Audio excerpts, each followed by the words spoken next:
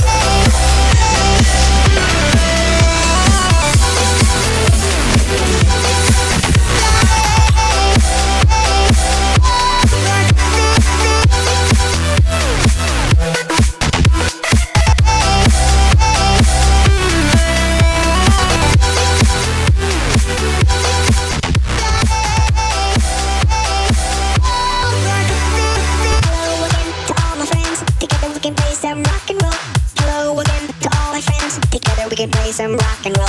Hello again to all my friends. Together we can play some rock and roll.